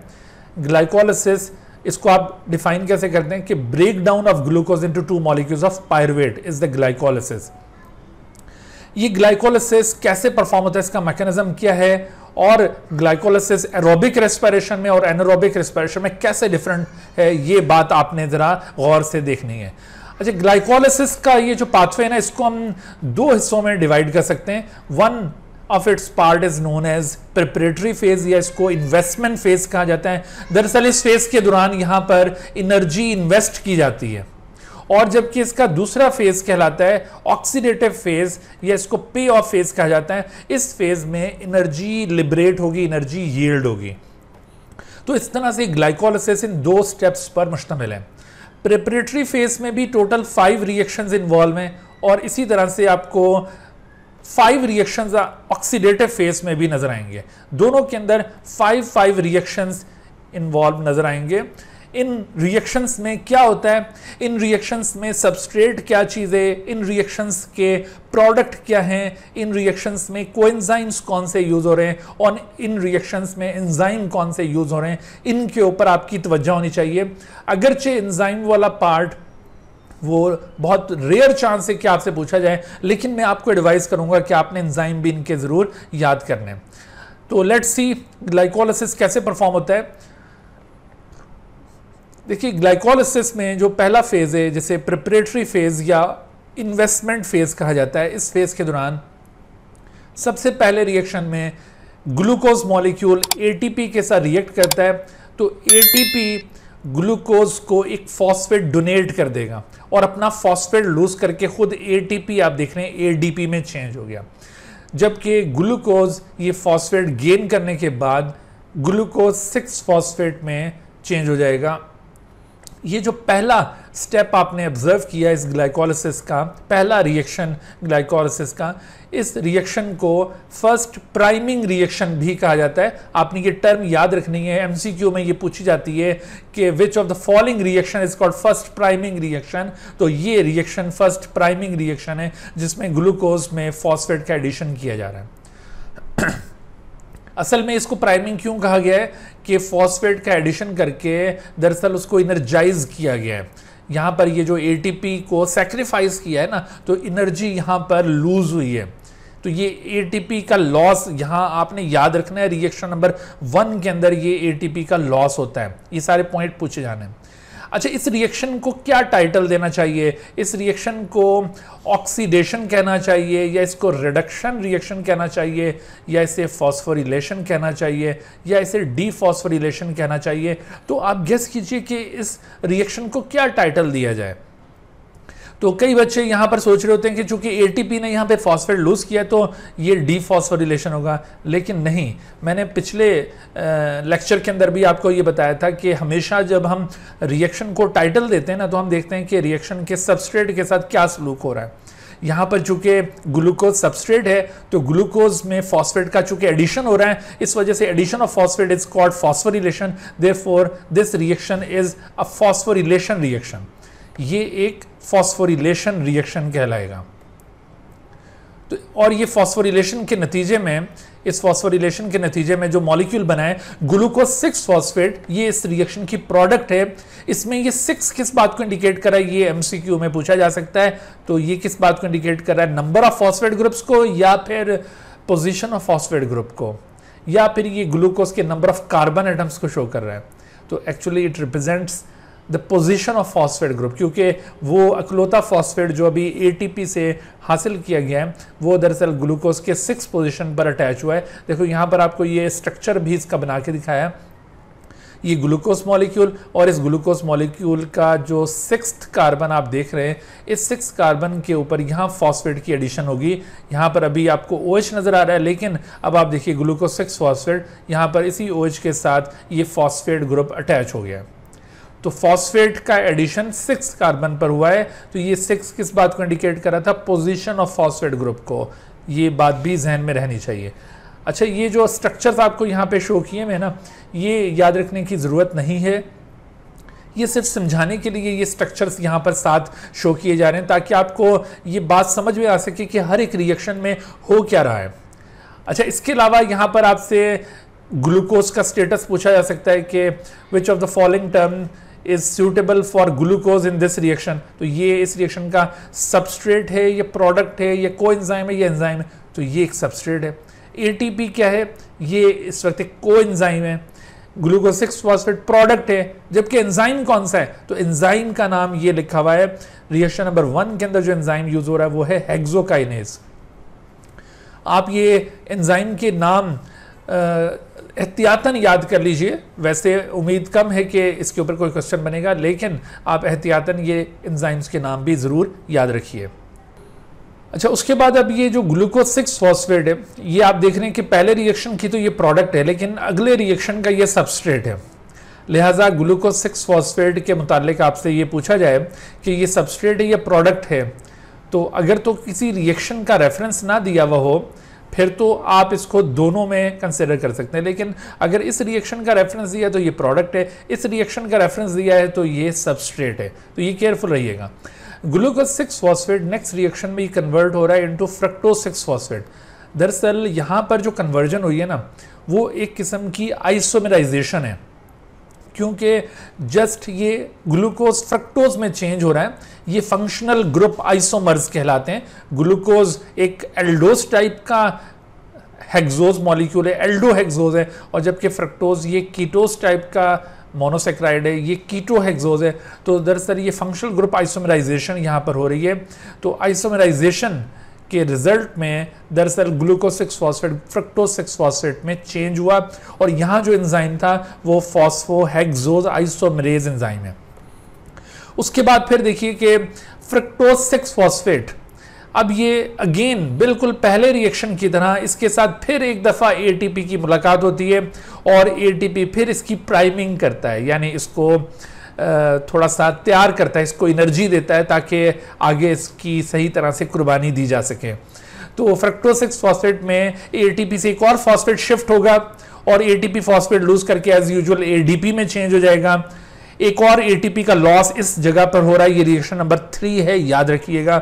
और फ्रक्टोज सिक्स फॉस्फेट अब किसमें चेंज हो गया? Fructose one six bis phosphate में। तो इस मॉलिक्यूल में fructose one six bis phosphate में ये वन सिक्स किस बात को इंडिकेट करा है? जैसे मैंने यहाँ सवाल पूछा था तो इधर भी ये सवाल हो सकता है। तो ये पोजिशन ऑफ़ फॉस्फेट ग्रुप्स को ये दोनों नंबर शो कर रहे हैं। अब इसके पास दो फॉस्फेट ग्रुप हैं, एक अटैच है फ़र्स्ट कार्बन के ऊपर, जैसे ये आपको नज़र आ रहा है, और दूसरा अटैच है यहाँ पर सिक्स कार्बन के ऊपर।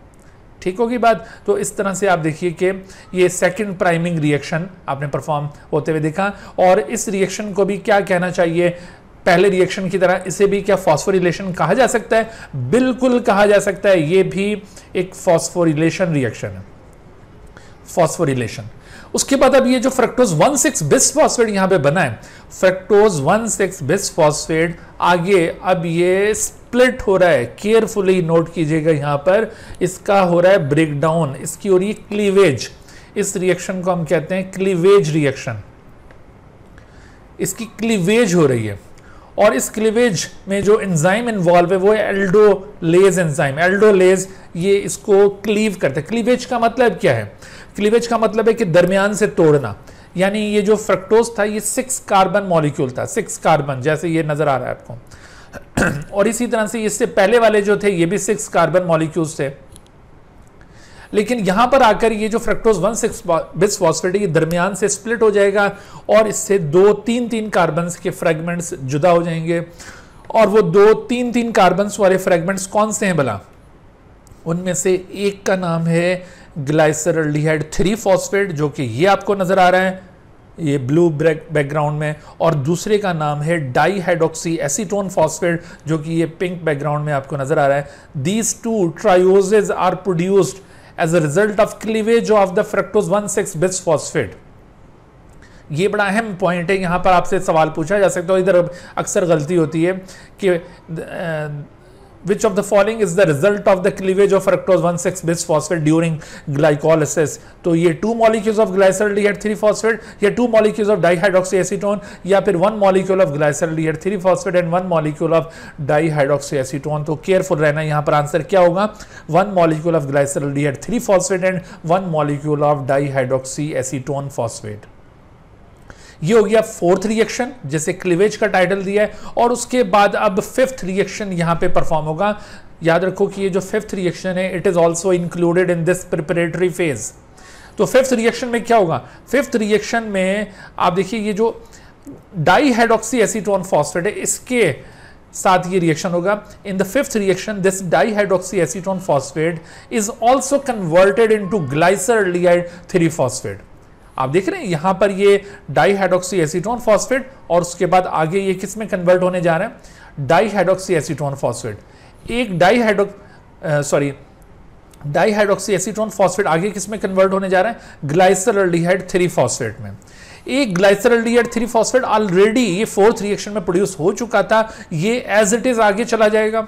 और अब ये फिफ्थ रिएक्शन में डाईहाइड्रोक्सी एसीटोन फॉस्फेट ये भी इसमें कन्वर्ट हो जाएगा। इस तरह से अब ये ग्लाइसरल्डिहाइड थ्री फॉस्फेट के कितने मॉलिक्यूल्स बन गए? दो मॉलिक्यूल्स ये बड़ा अहम पॉइंट है फिफ्थ रिएक्शन भी। फिफ्थ रिएक्शन में कौन किसमें कन्वर्ट हो रहा है? तो याद रखो कि dihydroxyacetone phosphate glyceraldehyde three phosphate में कन्वर्ट होता है। ठीक है? और ये पाँच रिएक्शंस ये प्रिपरेटरी फ़ेज़ की कंप्लीशन को शो करें। अब यहाँ पर एक और सवाल बनेगा कि आपसे पूछा जा सकता है कि what are the end products of preparatory phase of the glycolysis अब बिल्कुल वही वाले ऑप्शंस होंगे जो अभी मैंने दिए थे कि two molecules of glyceraldehyde three phosphate या two molecules of dihydroxyacetone या one molecule of glyceraldehyde three phosphate and one molecule of dihydroxyacetone तो यहाँ पर क्या आपने पिक करना है? यहाँ पर आपने two molecules of glyceraldehyde three phosphate pick करना है। एंड प्रोडक्ट ये दो मॉलिक्यूल्स हैं, लेकिन वो जो फोर्थ रिएक्शन था क्लीवेज की प्रोडक्ट वो एक मॉलिक्यूल ऐसा और एक डाई हाइड्रोक्सी एसीटोन फॉस्फेट था। ठीक है, ये बड़ा अहम पॉइंट यहाँ पर अक्सर मिस्टेक होती है। इसको केयरफुली अंडरस्टैंड कर लीजिए। तो बताइए, ये जो पांचवा रिएक्शन था, ये क्या, इसको क्या टाइटल देना चाहिए? तो पांचवा रिएक्शन दरअसल एक आइसोमराइजेशन है। आइसोमराइजेशन ये भी वही फंक्शनल ग्रुप आइसोमेराइजेशन है। यानी ये भी दोनों एक दूसरे के आइसोमर्स हैं। ग्लाइसरल्डिहाइड ये एल्डोट्रायोस टाइप का मॉलिक्यूल है। हम बायोमोलिक्यूल्स में ऑलरेडी पढ़ चुके हैं। और जबकि डाईहाइड्रोक्सी एसीटोन ये कीटोट्रायोस की एक एग्जांपल है। अब देखो नेक्स्ट फ़ेज़ ऑक्सीडेटिव या पे ऑफ़ फ़ेज़ आपसे पूछा जाए कि ये कौन से मॉलिक्यूल से प्रोसीड होगा? तो ये two molecule of glyceraldehyde three phosphate से प्रोसीड होगा, जबकि प्रिपरेटरी फ़ेज़ कौन से मॉलिक्यूल से प्रोसीड हुआ था? वन मॉलिक्यूल ऑफ़ ग्लूकोज से तो ये वाले पॉइंट याद रखने वाले हैं। बार बार मैं आपसे सवाल शेयर कर रहा हूँ ताकि आपको अंदाज़ा हो सके कि यहाँ से कैसे सवाल आएँगे। तो आप ये पॉइंट अगर अच्छी तरह जहन में रखें तो इनशाला यहाँ से कोई चीज़ मिस नहीं होगी। अच्छा अब आप देखिए कि ग्लाइसरल्डिहाइड थ्री फॉस्फेट जो कि दो मॉलिक्यूल्स हैं यहाँ पर। यहाँ पर भी आपसे ये इसकी ये थ्री का ये लॉजिक पूछी जा सकती है कि ये किसको इंडिकेट कर रहा है। तो ये पोजीशन ऑफ़ फॉस्फेट को। अब देखो नेक्स्ट रिएक्शन में रिएक्शन नंबर सिक्स के अंदर ये दो चीज़ों के साथ इंटरेक्ट करता है इनऑर्गेनिक फॉस्फेट के साथ भी और एन के साथ भी। एन आप याद रखिए, ये ऑक्सीडाइजिंग एजेंट है। ऑक्सीडाइजिंग एजेंट और ये जो ऑक्सीडेशन होती है ना बायोलॉजिकल ऑक्सीडेशन ये दरअसल डीहाइड्रोजिनेशन भी कहलाती है। Biological oxidation is also called dehydrogenation तो ये क्या करेगा? ये जिस मॉलिक्यूल से रिएक्ट करेगा, उससे हाइड्रोजन ले लेगा। तो N A D glyceraldehyde three phosphate से हाइड्रोजन लेकर ये बन जाएगा N A D H two और जबकि हाइड्रोजन लूज करने के बाद ग्लाइसल डी थ्री फॉस्फेट इसकी क्या हो जाएगी? ऑक्सीडेशन इसकी रिडक्शन नहीं, इसकी ऑक्सीडेशन होगी। एनएडी खुद रिड्यूस हो रहा है but glyceraldehyde three phosphate oxidize हो गया। लेकिन साथ ही इसने फॉस्फेट ग्रुप भी गेन किया है। तो इस तरह से ये ना सिर्फ़ ऑक्सीडेशन यहाँ हुई है, बल्कि फॉस्फोरिलेशन भी हुई तो इस रिएक्शन को आप ऑक्सीडेटिव फॉस्फोरिलेशन कहेंगे। ये बात भी अक्सर एमसीक्यू में पूछी जाती है कि in which of the following reaction of glycolysis oxidative phosphorylation occurs तो ये रिएक्शन नंबर सिक्स है, जिसमें glyceraldehyde three phosphate one three bis phosphoglycerate में चेंज हो रहा है। आपको याद है कि ये जो ग्लाइसरल्डिहाइड थ्री फॉस्फेट था G3P हमने ये कैल्विन साइकिल में भी पढ़ा था। और इसी तरह से वन थ्री बिस फॉस्फोग्लाइसरेट ये भी कैल्विन साइकिल में हमने पढ़ा था। यहाँ पर ऐसा सवाल भी बन सकता है कि which of the following metabolites या सब मेटाबॉलिक मॉलिक्यूल्स या chemical compounds are common between Calvin cycle and glycolysis तो आपने ये कॉमन मॉलिक्यूल्स को भी आइडेंटिफाई करना है कि वो उधर भी थे और इधर भी थे। ऐसा सवाल भी यहाँ से बन सकता है। अच्छा उसके बाद अब ये जो वन थ्री बिस फॉस्फोग्लाइसरेट है, इसके भी दो मॉलिक्यूल्स हैं। याद रखो कि ये जो पूरा ऑक्सीडेटिव ये पे ऑफ़ फ़ेज़ है, ये ट्वाइस टेक प्लेस होना है। यहाँ पर हर चीज़ को आपने डबल कंसिडर करना है। मिसाल के तौर पर यहाँ पर कितने N A D H molecules produce हो रहे हैं? तो टू प्रोड्यूस हो रहे हैं। यहाँ पर कितने इनऑर्गेनिक फॉस्फेट्स ऐड हुए हैं तो दो ऐड हुए हैं। इसी तरह से आपने आगे अब देखना है कि वन थ्री बिस फॉस्फोग्लाइसरेट अब आप देखो, ये एक बहुत ही अहम रिएक्शन आ रहा है सेवन्थ रिएक्शन इसमें क्या होगा? इसमें देखो, ये one three bisphosphoglycerate contains two phosphate groups इस मॉलिक्यूल के अंदर दो फॉस्फेट ग्रुप्स हैं। वन थ्री बिस फॉस्फोग्लाइसरेट यानी एक फॉस्फेट ग्रुप फ़र्स्ट कार्बन पर, दूसरा थर्ड कार्बन पर। ये देखो फ़र्स्ट कार्बन और ये थर्ड कार्बन पर दो फॉस्फेट ग्रुप आपको नज़र आ रहे हैं। और ये ऑर्गेनिक फॉस्फोरिलेटेड सबस्ट्रेट एडीपी को एक फॉस्फेट डोनेट करने जा रहा है। तो ये है सबस्ट्रेट लेवल फॉस्फोरिलेशन इसको क्या कहते हैं? सबस्ट्रेट लेवल फॉस्फोरिलेशन तो ये सबस्ट्रेट लेवल फॉस्फोरिलेशन का इवेंट ये सेवंथ रिएक्शन में अपीयर होगा और इसके नतीजे में एटीपी मॉलिक्यूल जनरेट होगा। तो एटीपी मॉलिक्यूल इज़ जनरेटेड लेकिन वैसे तो चलें, ये सबस्ट्रेट लेवल फॉस्फोरिलेशन भी इस रिएक्शन को कह सकते हैं। लेकिन इस रिएक्शन को एक और टाइटल भी दिया जा सकता है। बताइए वो टाइटल क्या है? अगर हम इस वन थ्री बिस फॉस्फोग्लाइसरेट की मुनासबत से देखें तो चूँकि इसने फॉस्फेट लूज किया है ना there for this reaction can also be titled as dephosphorylation इसको आप डी फॉस्फोरिलेशन भी कह सकते हैं। ठीक है भाई? तो ये डी फॉस्फोरिलेशन रिएक्शन है, जिसमें एटीपी मॉलिक्यूल जनरेट हुआ है रिएक्शन नंबर सेवन उसके बाद फिर थ्री फॉस्फोग्लाइसरेट जो यहाँ से प्रोड्यूस हुआ था, अब ये टू फॉस्फोग्लाइसरेट में चेंज हो रहा है। अगर आपसे पूछा जाए कि what is difference between three phosphoglycerate and two phosphoglycerate तो there is only difference of position of phosphate group जो पहले थर्ड पोजीशन के ऊपर फॉस्फेट था, अब वो सेकंड के ऊपर चला गया। बस ये इतना फ़र्क है। अदरवाइज़ बाकी मॉलिकुलर फार्मूला दोनों का सेम है। इसका मतलब है कि इस जगह पर आइसोमराइजेशन हो रही है। तो ये भी एक किस्म की आइसोमराइजेशन है। और यहाँ पर जो एंजाइम इन्वॉल्व है फॉस्फोग्लाइसरेट म्यूटेज एंजाइम है। अब ये two phosphoglycerate molecule after losing water molecule it is change into phosphoenol pyruvate this loss of water is called dehydration dehydrogenation नहीं, इसे डीहाइड्रेशन कहा जाएगा रिमूवल ऑफ़ वाटर मॉलिक्यूल और उसके नतीजे में फॉस्फोइनोल पायरुवेट बना और आखिर में एक बार फिर ये ऑर्गेनिक फॉस्फोरिलेटेड सबस्ट्रेट इसके पास एक फॉस्फेट बचा है, और वो फॉस्फेट ये एडीपी को दे देगा। और इस तरह से एडीपी फॉस्फेट लेकर एटीपी में कन्वर्ट हो जाएगा और यूँ एक और ये इवेंट परफॉर्म होगा सबस्ट्रेट लेवल फॉस्फोरिलेशन का, जिसके तहत ये एटीपी बने। असल में देखो थ्रू आउट द रेस्परेशन ये जो सबस्ट्रेट लेवल फॉस्फोरिलेशन है, ये टोटल तीन जगहों पर होती है। उनमें से दो जगह ये ग्लाइकोलिसिस में है। इस वजह से आप इन दोनों पॉइंट्स को ज़रूर याद रखिएगा। एक जगह आगे चलकर अभी क्रैप साइकिल में आएगी, वो भी आपको पॉइंट आउट करेंगे। तो ये जिस जिस जगह पर ये सबस्ट्रेट लेवल फॉस्फोरिलेशन हो रही है, उन पॉइंट्स को याद रखना है। हालाँकि पीएमसी का जो सिलेबस है ना, उन्होंने उसके अंदर अलग से सबस्ट्रेट लेवल फॉस्फोरिलेशन का टॉपिक इंक्लूड नहीं किया हुआ। लेकिन चूँकि दरमियान में इसका ज़िक्र आ रहा होता है, इस वजह से आपने इस टॉपिक को इग्नोर नहीं करना, इसको भी ज़रूर कवर करना है। अच्छा तो अब ये देखो कि एट द एंड ये पायरुवेट मॉलिक्यूल बन गए। जैसे हमने ये इस रिएक्शन को सेवंथ को डी फॉस्फोरिलेशन कहा था, बिल्कुल इसी तरह से इसको भी आप डी कह सकते हैं। और इस डी के नतीजे में ये आखिर में पायरुवेट के दो मॉलिक्यूल्स हासिल हो गए। ठीक है भाई? तो इस तरह से ये ग्लाइकोलिसिस परफॉर्म होगा। अच्छा अब हम देखते हैं कि ये जो ग्लाइकोलिसिस अभी हमने देखा तो इसमें एटीपी के पॉइंट ऑफ़ व्यू से अगर हम कैलकुलेशन करें तो एटीपी का क्या बजट है? ठीक है? एटीपी बजट और इसी से हमें अंदाज़ा होगा कि ग्लाइकोलिसिस एरोबिक और एनोरोबिक रेस्पिरेशन में कैसे डिफरेंट है। जरा देखिए कि एटीपी बजट कैसे बनता है, लेकिन उससे पहले जरा ये दो क्वेश्चन ले लें कि in the conversion of glucose to two molecules of pyruvate which of the following does not occur तो आपने अभी पूरे ग्लाइकोलिसिस में इनमें से कौन सा इवेंट था जो होते हुए नहीं देखा? हाइड्रोलिसिस ऑफ़ एटीपी ज़रूर हुआ था। आपने डी कार्बोक्सिलेशन हरगिज नहीं देखी फॉस्फोरिलेशन ऑफ़ एडीपी हुआ रिडक्शन ऑफ़ एनएडीबी हुआ, बाकी सारे इवेंट हुए हैं, लेकिन असल में डी कार्बोक्सिलेशन नहीं हो रही कार्बन डाइऑक्साइड का लॉस नहीं हो रहा। तो राइट आंसर यहाँ पर ये है।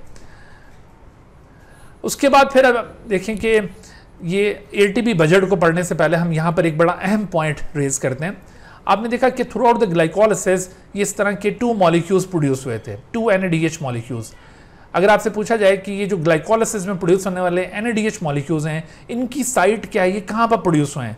तो ऑब्वियसली साइटोप्लाज्म में, क्योंकि ग्लाइकोलिसिस साइटोप्लाज्म में परफॉर्म हो रहा था तो ये भी साइटोप्लाज्म में प्रोड्यूस हुए हैं। लेकिन बच्चों, याद रखो कि अगर एरोबिक रेस्पिरेशन हो तो इन एन की आगे ऑक्सीडेशन होनी है रेस्पिरेटरी चेन के अंदर। और रेस्पिरेटरी चेन माइटोकॉन्ड्रियल मैट्रिक्स में होती है। जहाँ तक यू यूकैरियोट्स का ताल्लुक है। प्रोकैरियोट्स में तो रेस्पिरेटरी चेन सेल मेम्ब्रेन में परफॉर्म होती है, लेकिन यू यूकैरियोट्स में ये रेस्पिरेटरी चेन माइटोकॉन्ड्रिया में पाई जाती है। इस वजह से एन मॉलिक्यूल्स जो कि साइटोप्लाज्म में प्रोड्यूस हुए हैं, इनको माइटोकॉन्ड्रिया के अंदर दाखिल होना पड़ता है इन यू कैरियोड्स यू कैरियोड्स में इनको माइटोकॉन्ड्रिया में दाखिल होना पड़ता है फर्दर ऑक्सीडेशन के लिए। अगर ये ग्लाइकोलिसिस एनरोबिक रेस्पिरेशन में सोचें जरा, अभी हमने ज़िक्र किया था कि एनोरोबिक रेस्पिरेशन में भी तो ग्लाइकोलिसिस होता है ना, उसमें अगर ये ग्लाइकोलिसिस होता और एन बनते तो उनकी आगे फेट क्या होती? फेट का मतलब किस्मत, उनकी आगे फेट क्या होती कि वो दोबारा से पायरोवेट को रिड्यूस करने या फिर वो एसिडल्डिहाइड को रिड्यूस करने में खर्च हो जाते, उनसे तो कोई एटीपी फर्दर हासिल होने नहीं थे। उनकी ऑक्सीडेशन फर्दर होनी नहीं थी, ठीक है? तो एनोरोबिक रेस्पिरेशन में तो ये खर्च हो जाते हैं, इनकी ये फेट लेकिन एरोबिक रेस्पिरेशन में आप याद रखें कि अगर तो ये एरोबिक रेस्पिरेशन यूकैरियोट्स में हो रही है देन ये साइटोप्लाज्मिक टू इनको माइटोकॉन्ड्रिया के अंदर जाना पड़ेगा। और अगर प्रोकैरियोट्स में है तो फिर ये as it is cell membrane की तरफ़ माइग्रेट कर जाएँगे। अब देखो, जब ये साइटोप्लाज्म से माइटोकॉन्ड्रियल मैट्रिक्स में दाखिल होने लगते हैं तो होता क्या है? यहाँ पर आपको ये स्केच दिखाया। है ये देखो, ये ये जो चीज़ है ना, ये आपके उसमें सिलेबस के अंदर यूँ डायरेक्टली गिवन कोई नहीं है। लेकिन यहाँ पर थोड़ा सा हम कॉन्सेप्ट क्लियर करेंगे, क्योंकि इनडायरेक्टली चीज़ें यहाँ पर मौजूद हैं और कोई ऐसा क्वेश्चन जो रिलेटेड हो, वो यहाँ से राइज हो सकता है। इस वजह से कॉन्सेप्ट आपका बिल्कुल क्लियर होना चाहिए।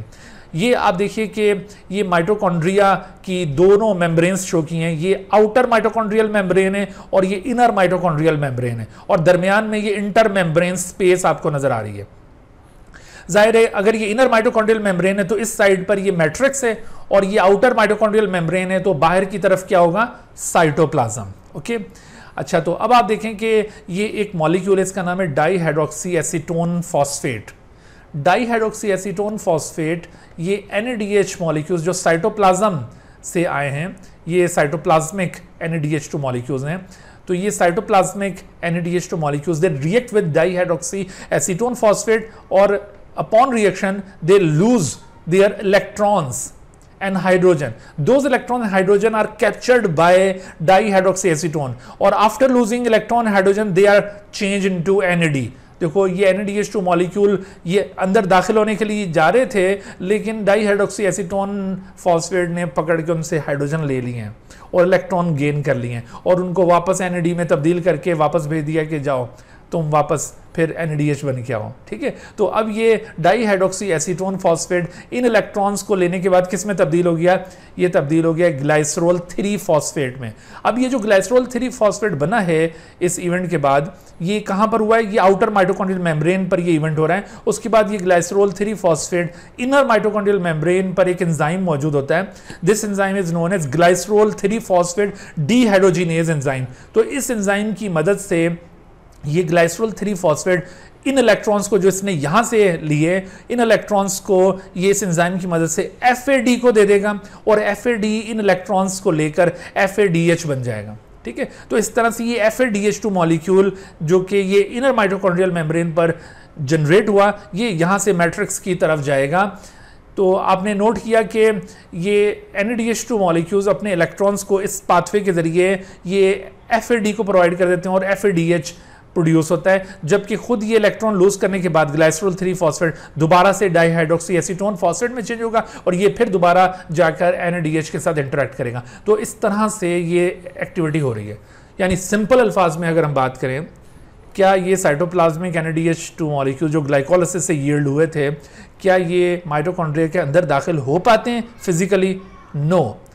ये फिजिकली तो नहीं होते, लेकिन रूहानी तौर पर हो जाते हैं। वो कैसे?